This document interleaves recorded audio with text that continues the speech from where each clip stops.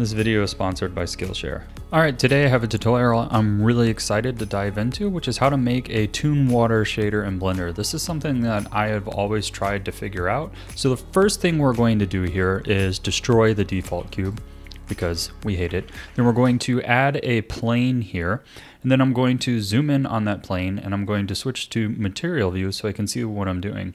Alternatively, you can come up here and you can go ahead and click the shading tab if you want. And it'll kind of set this all up for you by default. So I'm going to zoom in here on this plane so we can see what we're doing and start working on our materials down here. So I'm going to create a new material for this piece here and I'm going to name this Toon Water. And then I'm going to delete this default node and I'm going to be using an emission node because I don't want any light to affect my toon shader. I want it to have no shadows. Now you can use whatever type of material you want to use here to react with the texture that we're going to apply to it, but this is what I prefer. So the way we can do that is we can add a mix shader here.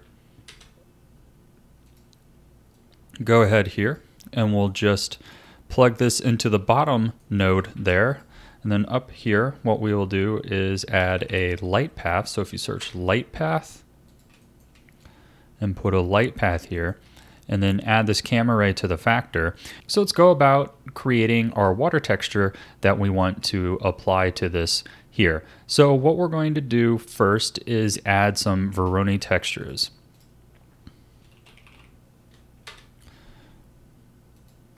So we'll go ahead and add one there. And we're going to be using two.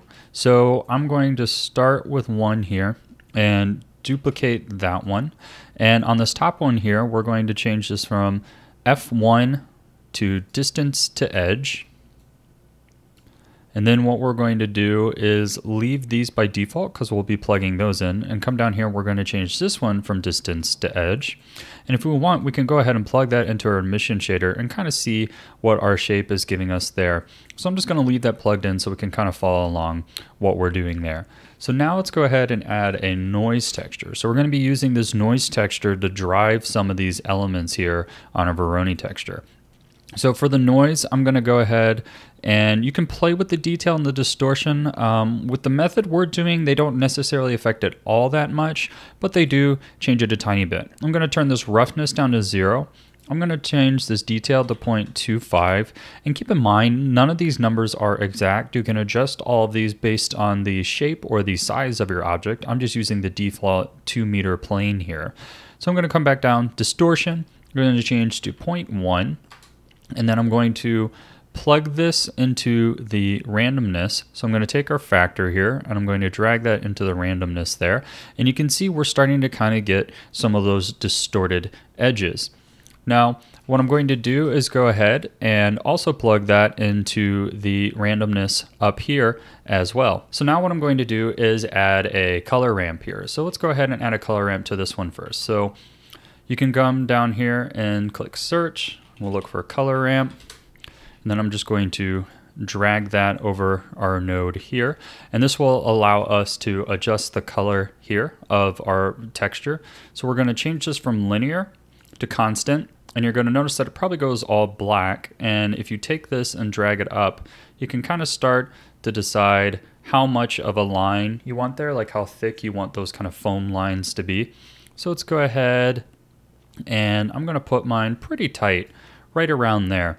And then what we need to do is go ahead and change these values to whatever values you want the color of water to be.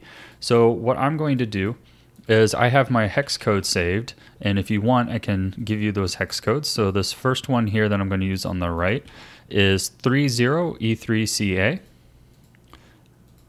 and then for this one here, I'm just going to take a slightly darker version because this is kind of like the water pattern underneath and we'll do a foam layer on top. So for this one, it's really just a slightly darker version, but that's 2AD3C9. And with that, you can kind of see how we're already starting to get our water texture there. So let's go ahead and we're going to do the same thing for this one here on the top. We're going to take this distance node and we're going to drag it into our emission so that we can kind of see that texture again. And what I'm going to do is take this color ramp, I'm going to duplicate it, put it on this one, and drag this up here. Now we want this to be our foam layer. So this one we're actually just going to do black and white. So I'll take this right one here and I'll make that completely black. And you can now see that we have just our layer there. And I want this to be completely white. So I'm going to go over here to the RGB tab and just drag all these up so that it is 100% uh, white there. And then we can go ahead, drag these nodes out this way. And what we're going to do is add a mix RGB node so that we can put these two together. So first I will search, look for a mix RGB node. So the difference between the mix shader node and the mix RGB node is the RGB node will mix color information and texture maps and things like that. Think of it kind of like a Photoshop layer, whereas mix shader is meant to mix like two entire shader trees together. So that's kind of the difference there and why we're using that here. So I'm just going to drag this over top here. And if you have the Node Wrangler add-on enabled, which I do and everybody should by default, you should just be able to drag on top of those lines and it'll make those connections for you if you're wondering why yours isn't doing that. Now for the factor here, we're going to crank this up to one.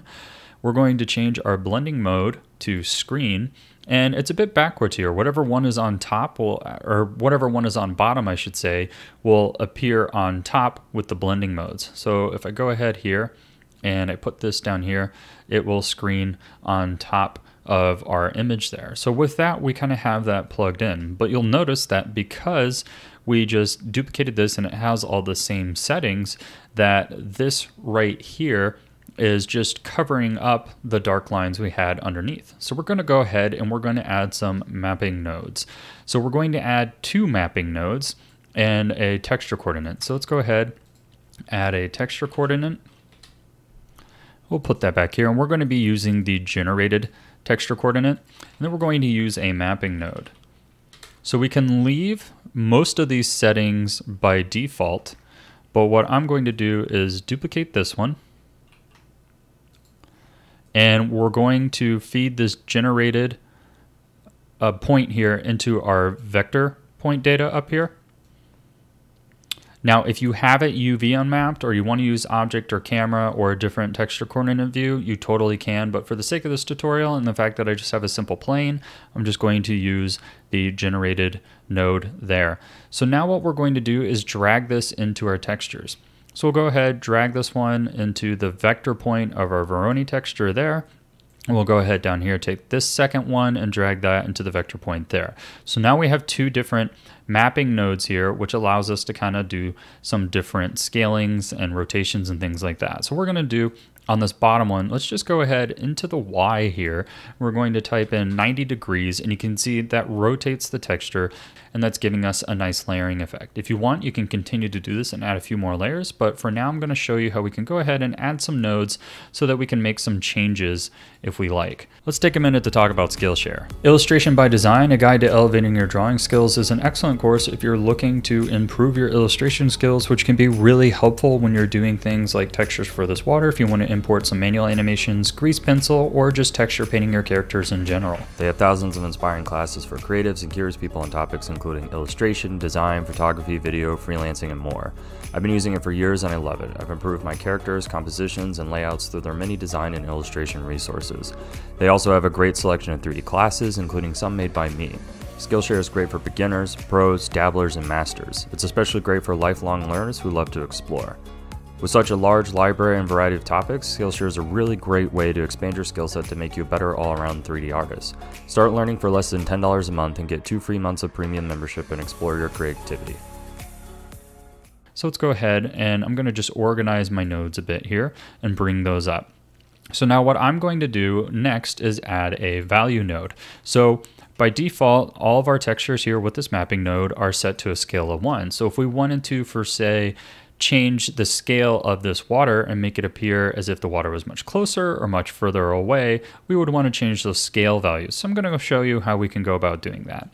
So let's go ahead here and add a value node. And by default it's set to 0.5 so I'm just going to leave that so you can kind of see the effects there. And I'm going to go ahead drag it into the scale there and drag it into the scale there. And you can see that because that value is smaller it has brought us in closer. So let's go ahead tap that to 1 bring us back to where we were. So now we can use this to kind of scale. But you'll notice that as we scale in super small or if we get really big, it starts to kind of ruin the effect we had of the distortion with the noise. So we're going to add a few math nodes to help us out on that, but there will still be some manual adjustments. So let's go ahead and look at some of those. Now these are pretty simple math nodes, so it shouldn't be hard to follow along, but just do exactly what I do here. So what we're going to do is we're going to use the multiply node. So to do that, we will add a math node here and we will set that to multiply. And what that's going to do is it's going to take these two values and multiply them. So 0.5 times 0.5 or whatever value we feed into here. So we're actually going to be using a couple of these. So let's go ahead and drag these back here. And we're going to duplicate this twice here. And I'm just going to set mine up like that. Now what I'm going to do is drag my value node into this here. Then I'm going to drag my value node into this down here. Then I'm going to drag this value node into the top value here. And then what I'm going to do is take this value node here on the top and I'm going to drag this one into the scale of our Voronoi texture.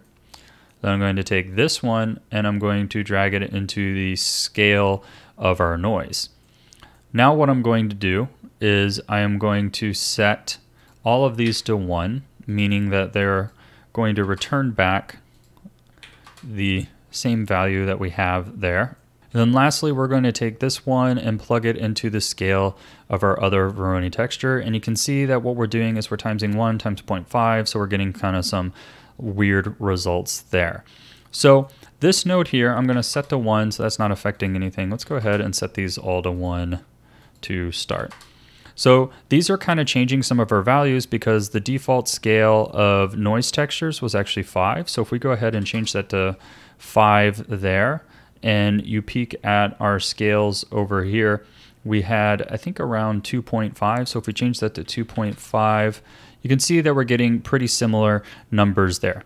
So now what we can do is use all of these to animate our water. So for now you have a good kind of like static water image and you can see here that let's bump this up to something like 10 or that might be a bit too much. Let's do something smaller like 3. So there you can see that we have water that looks like it's pretty far away, but it's kind of losing that curled look. So what you can do is most of the adjustments you're going to use are on these two nodes here, where you can play with the values here. So I've noticed that with the multiply node feeding into the Voronoi textures, as you get further away from your water, you're actually going to want to kind of make this scale a bit smaller. And you can see how we're starting to get some of our warped water back. And then here with the noise texture, a lot of times you're going to want to bump that higher. And then you can see that it looks like our normal water again. So let's talk about how I animated that water. And that's what this node is for here. So I'm going to go back and return this to kind of a easier to see value. So we'll go to one here and I'm going to go ahead, change this one to two. Maybe do this one, uh, let's see, just try three there. And like I said, these values are totally subject to change, just whatever you think looks best, but I think that looks kind of good right there. So I have a value of one here, three here, and seven here. So now what you can do is take this multiply node. What this is going to do is multiply on top of this, and you can use this as kind of your animation node. So you want to keep these values pretty small, but if you go to like 1.25, we can see that it's starting to curl. And if we go to 0.75, we can see that it's kind of curling back the other way. And what I did is I just went ahead and if you hit I here, you can actually insert a keyframe. And then I moved forward a couple frames and hit I. And then you can do that kind of back and forth. And what that'll allow you to do is kind of create a animated water texture. Now I found that this added a bit of glitchiness sometimes, but I also found that you could subtly kind of rotate your textures here on your mapping nodes, and that was another way to animate. So with that, you have a Toon water shader, and I'm really excited to see what you create. So please tag me on Instagram with anything you make with it, and if I see it, I'll try and share it.